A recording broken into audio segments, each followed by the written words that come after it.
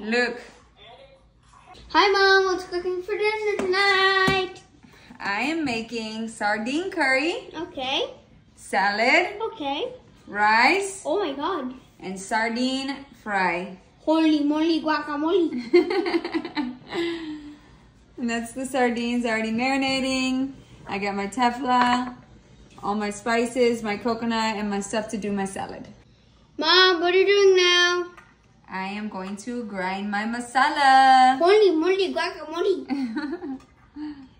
It looks so tasty. I haven't even made it yet. It does because it's coconut.